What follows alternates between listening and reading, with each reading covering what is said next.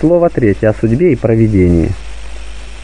Зная, что недавно я говорил о судьбе перед вашей любовью, но ничто не препятствует и сегодня заняться речью о том, о том же самом предмете. Не потому, что болезнь сильна, но потому, что беззаботность наша невыразима и делает великими даже незначительные болезни.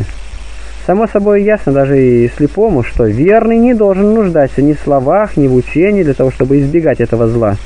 Подобно тому, как человека, живущего в нашей земле и управляющегося имеющими у нас место законами, и подчиненного одним и тем же царям, нет надобности убежать, убеждать в том, что не следует вводить в нашей стране персидского государственного устройства, но должно только запрещать ему.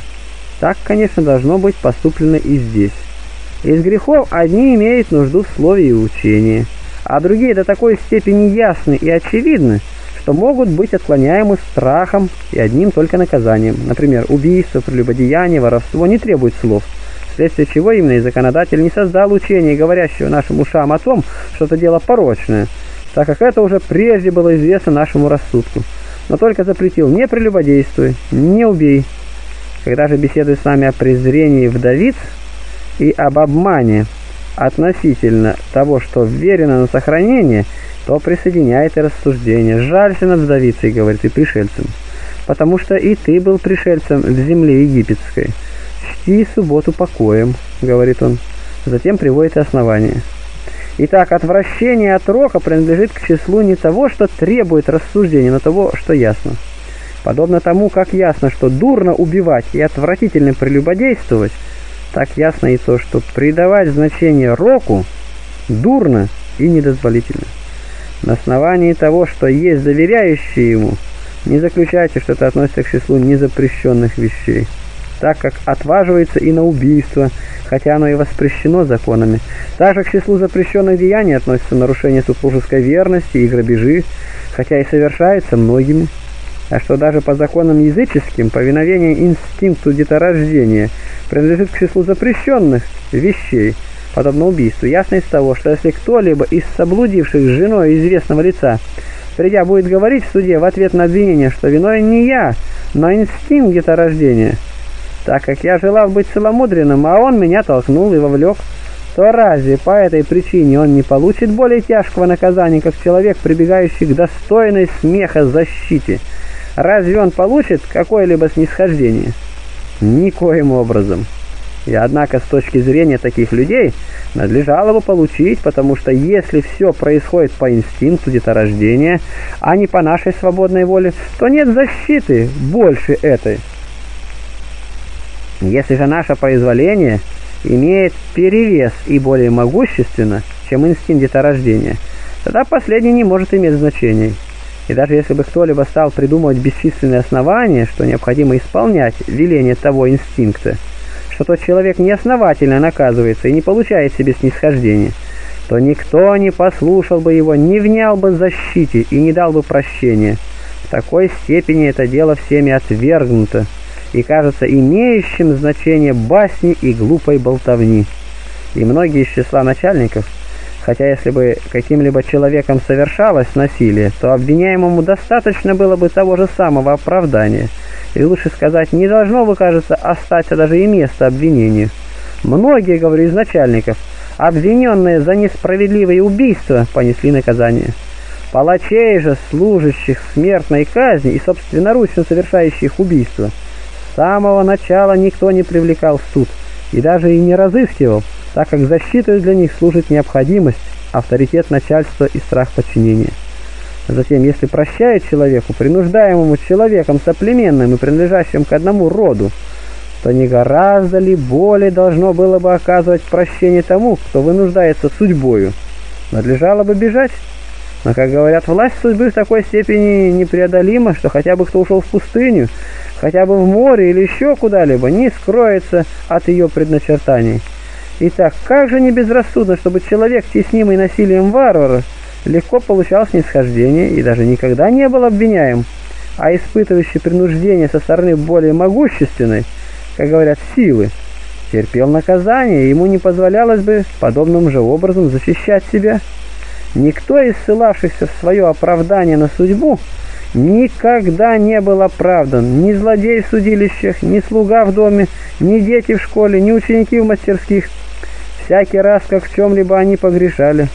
Поэтому как же некоторые уважают судьбу, если они в то же время так пренебрежительно относятся к ней и не дают никакого снисхождения, стоящей в зависимости от нее необходимости? Таким образом, искренно и в своей совести они весьма убедились, что дело это басня. Когда же впадут в тяжкие прегрешения, то в свою очередь присоединяет к ним другой грех, чтобы этим путем ускользнуть от предстоящего им наказания, а не получить его в более тяжелой степени.